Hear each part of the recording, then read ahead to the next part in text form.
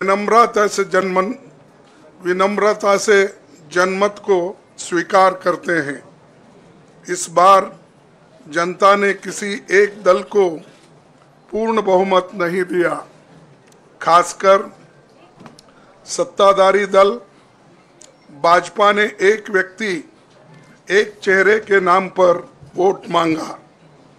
अब ये स्पष्ट हो गया है कि ये मैंडेट मोदी जी के खिलाफ गया है।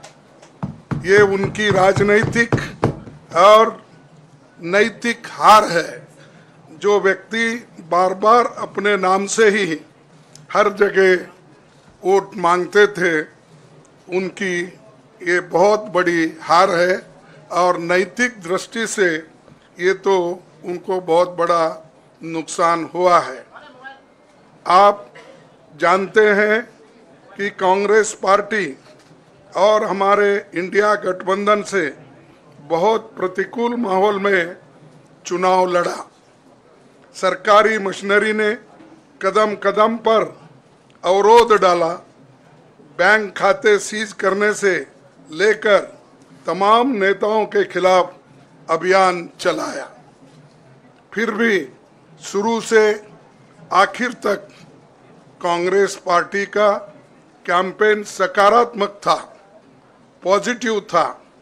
हमने महँगाई, बेरोजगारी, किसानों और मजदूरों की बदहाली और संविधान संस्थाओं का दुरुपयोग जैसे विषयों को केंद्रीय मुद्दा बनाकर हम जनता के सामने गए थे। इन मुद्दों पर बड़ी संख्या में लोग हमसे जुड़े, हमारा समर्थन किया प्रधानमंत्री ने जिस तरह का कैंपेन किया, वो इतिहास में लंबे समय तक याद रखा जाएगा। कांग्रेस के घोषणा पत्र के बारे में मोदी जी ने जो झूठ फैलाया, जनता ने उसे समझ लिया। मैं इस मौके पर कहना चाहूँगा कि श्री राहुल गांधी जी की दोनों यात्राएँ, भारत जोड़ो यात्रा और भारत जोड़ो न्याय यात्रा के दौरान लाखों करोड़ों लोगों को मिलना, लोगों की समस्याओं को सुनना और आगे चलकर उन समस्याओं का हल ढूंढना हमारे कैंपेन का आधार बना। हमने इसी को पाँच न्याय और 25 गारंटी का नाम दिया और इसी के आधार पर हमने गारंटी कार्ड बनाया। हमारे कार्यकर्ता उसे लेकर घर घर पहुँचे और लोगों को संपर्क करें। इसके अलावा जो एक महत्वपूर्ण बात है, वो भाजपा नेतृत्व की अहंकार की वजह से हुई। उन्होंने धीरे धीरे सारे संविधानिक संस्थाओं के ऊपर गैर कानूनी तरीके से कब्जा करने की कोशिश की। फिर इनका उपयोग विरोधी दल के खिलाफ करने लगे। जो दब गया, उसे दबा के अपने तरफ़ लिया। जो नहीं दबे, उसकी पार्टी को तोड़ दिया, नहीं तो फिर जेल में डाल दिया। लोगों को ये विश्वास हो गया था कि मोदी जी को एक मौका और मिला तो अगला हम, अगला हमला संविधान पर सीधा होगा और लोकतंत्र पर होगा। इसीलिए लोगों को इसके प्रमाण नए संसद सत्र के साथ ही दिखेंगे। खुशी इस बात की है कि भाजपा इस षड्यंत्र में अब सफल नहीं हो पाएगी। मैं इस अवसर पर सीपीपी चेयरपर्सन श्रीमती सोनिया गांधी जी, हमारे लोकप्रिय नेता राहुल गांधी जी, प्रियंका गांधी जी का विशेष मैं धन्यवाद करना चाहता हूँ और इन्होंने दिन रात बराबरी से पूरे देश में कैंपेन किया और हमें एक मज़बूत स्थिति में पहुँचाने के लिए भारी मदद इन्होंने की। और मैं ये कहूँगा कि इनके वजह से हमको बहुत बड़ा प्रोत्साहन देश में मिला और आज ये स्थिति जो बनी है, उनके वजह से बनी। और हमारे करोड़ों कार्यकर्ता जो है देश में, उन्होंने भी हमारा साथ दिया। इसीलिए मैं बहुत बहुत उनको धन्यवाद देता हूँ आखिर मैं इंडिया गठबंधन के अपने सभी साथियों और शुभचिंतकों का धन्यवाद करता हूँ। सभी एक साथ मिलकर, एक स्वर में रहे, सभी ने मिलकर प्रचार किया और एक दूसरे की मदद की हमारे हज़ारों, लाखों कार्यकर्ताओं ने अच्छे तालमेल के साथ काम किया। आप सभी का धन्यवाद। अभी हमारी लड़ाई अंजाम तक नहीं पहुँची है। हम सबको आने वाले दिनों में इसी तरह लोगों के अधिकारों के लिए, संविधान की रक्षा के लिए, लोकतंत्र के बचाव के लिए, देश की तरक्की के लिए, सीमाओं पर सुरक्षा के लिए लड़ते रहना चाहेंगे। हमें सुनिश्चित करना होगा कि संसद सुचारू रूप से चले, विपक्ष के मुद्दों को प्राथमिकता मिले, संसद में उन पर बहस हो, आने वाले दिन महत्वपूर्ण होंगे, हम आपसे बात करेंगे जब कभी भी मौका मिले। आप सभी को मेरा धन्यवाद और आपका साथ भी हमको रहा और हमने चुनाव में भी जहाँ जहाँ हमको जितना हो सकता है वो साथ आपने दिया इसलिए आप सभी को भी मैं धन्यवाद करता हूँ और सभी को नमस्कार। शुक्रिया खड़गे जी। मैं राहुल जी से गुजारिश करूँगा वो आपको संबोधित करें।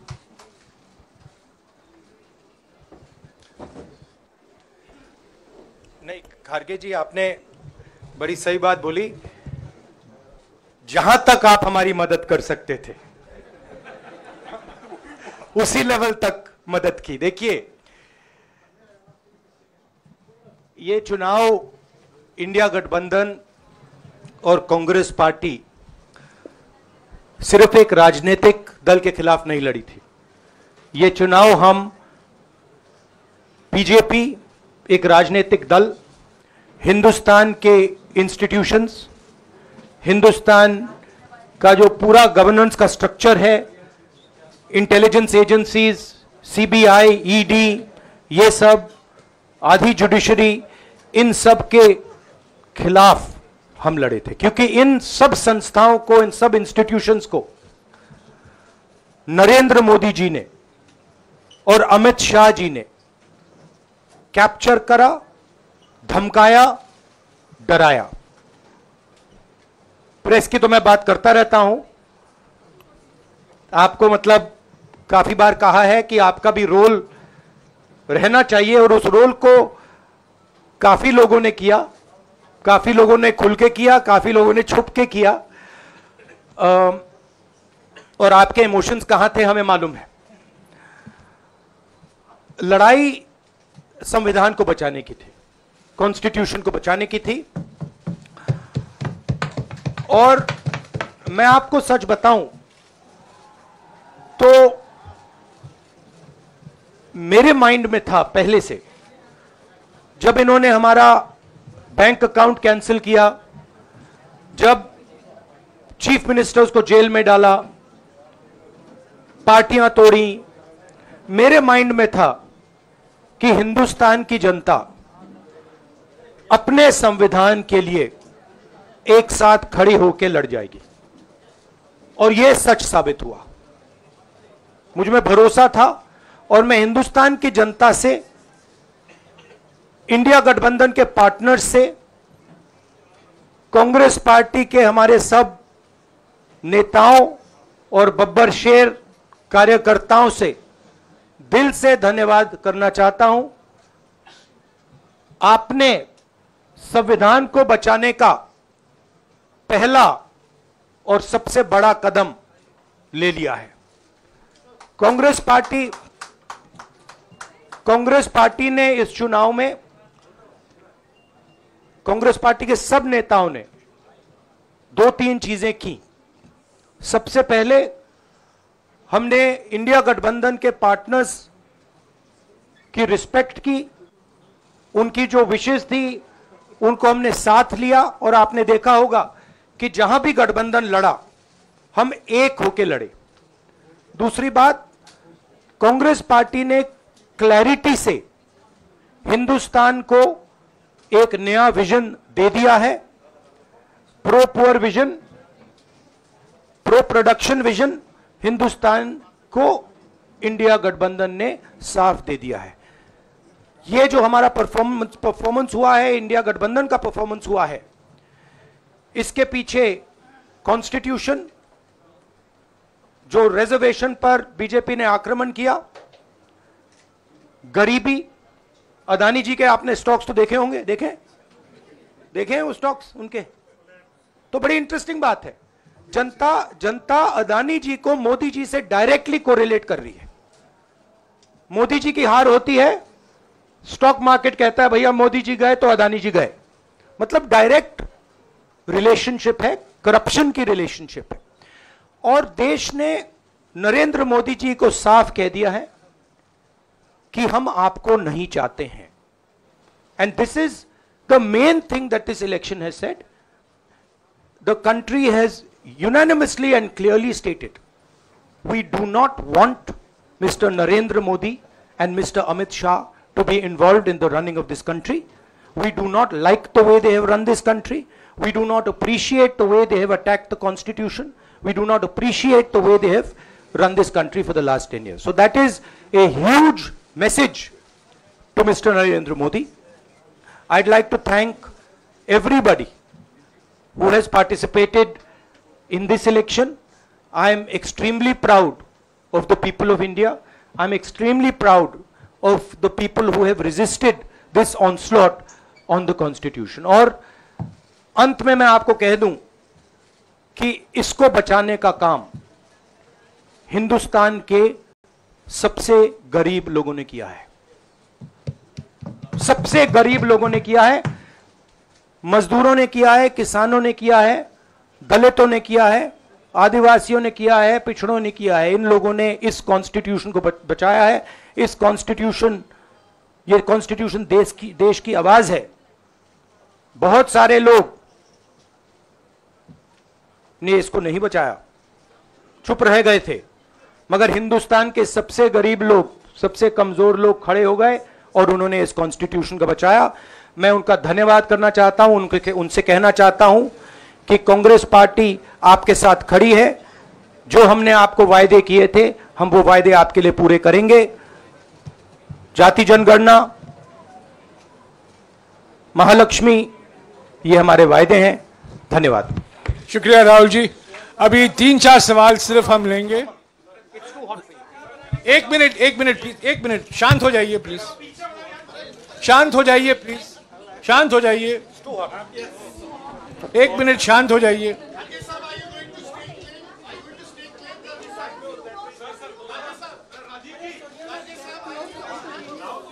एक मिनट, शांत हो जाइए।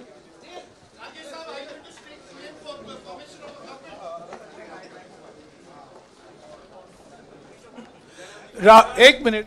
खड़गे जी और राहुल जी आपका चार पाँच सवाल लेंगे। संजीव हाँ जी। एक मिनट। एक एक करके चिल्लाइएगा मत प्लीज़ चिल्लाइएगा मत। हाँ Sanjeev. Rahul ji Rahul ji Rahul ji. Rahul ji although the NDA emerge as you know they are getting the majority but some of its partners have been your partners in the past including the T D P and the J D U So have you decided to sit in the opposition or there are chances of government formation by the, by the India government? Uh, we, as we have said earlier, we're going to have a meeting with our partners, uh, the India Alliance partners. I believe that meeting is tomorrow, and these questions will be raised there, and they will be answered there. Uh, we, are, we, we respect our alliance partners, and we are not going to make statements in the press without asking them their opinion. हाँ sir आप ये कह रहे हैं कि ये हिंदुस्तान के गरीब की जीत है संविधान बचाने की जीत है। तो अगर आप लोग विपक्ष में बैठते हैं और सरकार बनाने की पहल नहीं करते हैं क्योंकि नंबर एनडीए और इंडिया अलायंस में कुछ ज़्यादा नहीं है और अगर पहल नहीं करते हैं तो कैसे उनको आप आ, जो है आगे उनका हक दिलाने के लिए आगे आ पाएँगे? वो वो ही वो ही सवाल आप मतलब दूसरे तरीके से पूछ रहे हो। आ, कल डिसाइड होगा। इंडिया गठबंधन की मीटिंग है। आ, कल हमारा अलायंस डिसाइड करेगा। बड़ी फाइन लाइन है। तो आ, जो इंडिया गठबंधन डिसाइड करेगा उस पर हम एक्शन लेंगे।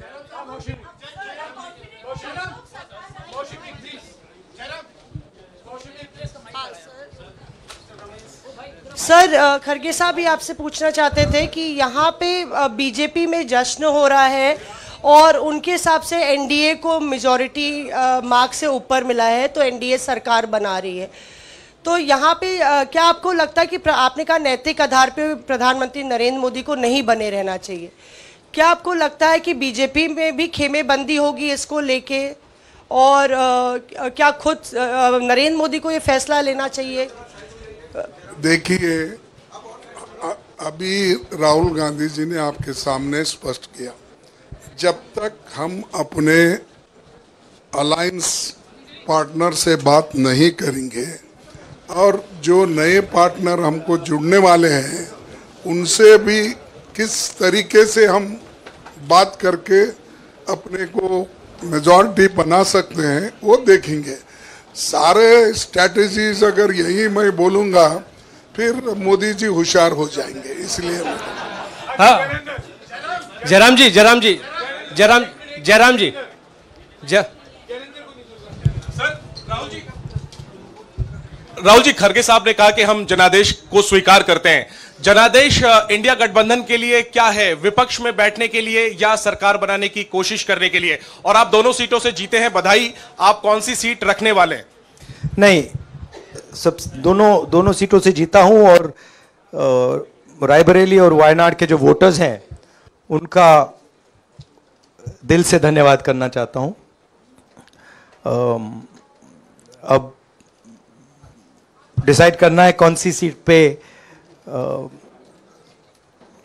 मैं रहूँगा। थोड़ा पूछूँगा और फिर डिसाइड करूँगा। दोनों सीटों में तो नहीं रह सकता हूँ। बट अभी डिसाइड नहीं किया है।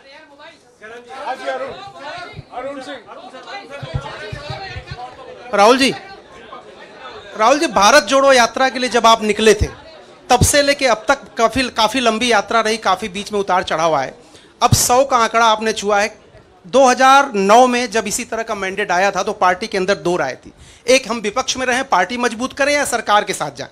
आप सरकार के 2009 साथ में? 2009 में हाँ। नहीं 2009 में तो क्या बात नहीं नहीं 2009 में दोबारा जब बहुमत मिला था तब एक राय थी कि आप विपक्ष की पॉलिटिक्स करके पार्टी को मज़बूत करें। ऐसी कोई राय नहीं थी ये आपकी अब wrong अब- information अब मैं पूछ रहा हूँ अब आपसे पूछ रहा हूँ। दो, दो दो दो चीज़ है दो चीज़ है दो चीज़। और बड़ी खबर इस वक्त कई नए सहयोगी मिलने वाले हैं। मल्लिकार्जुन खड़गे का बहुत बड़ा बयान यहाँ पर सामने आया है। कई नए सहयोगी मिलने वाले हैं ये बड़ा बयान यहाँ पर प्रेस कॉन्फ्रेंस में दिया है। कांग्रेस के अध्यक्ष मल्लिकार्जुन खड़गे ने यह बयान दिया है, कई नए सहयोगी मिलने वाले हैं। यानी कि इंडिया गठबंधन की कल जो बैठक होनी है, ये बैठक काफ़ी महत्वपूर्ण है।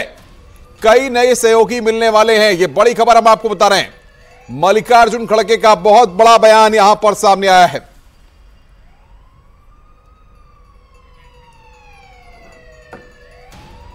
तो यह बड़ी खबर इस वक्त हम आपको बता रहे हैं, मल्लिकार्जुन खड़गे का बयान यहाँ पर सामने आया है।